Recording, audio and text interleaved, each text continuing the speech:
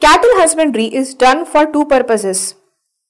One is milk and for draught labor.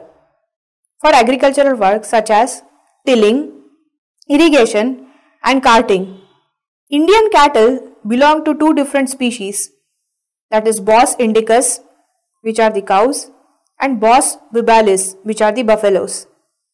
Milk producing females are called milch animals or dairy animals while the ones used for farm labor are called draught animals. Milk production depends on the duration of the lactation period, meaning the period of milk production after the birth of a calf. So, milk production can be increased by increasing the lactation period.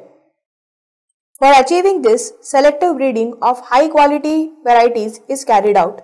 Exotic or foreign breeds, for example, Jersey or Brown Swiss, are selected for long lactation periods, while local breeds like Red Sindhi and Sahiwal are selected to show excellent disease resistance.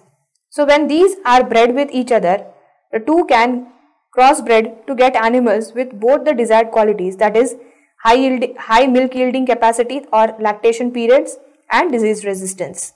Proper cleaning and shelter facilities for cows and buffaloes are required for human farming, for maintaining good health of animals and for the production of clean milk as well.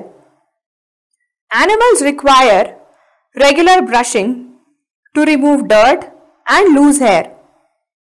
They should be sheltered under well ventilated roof sheds that protect them from rain, heat and cold.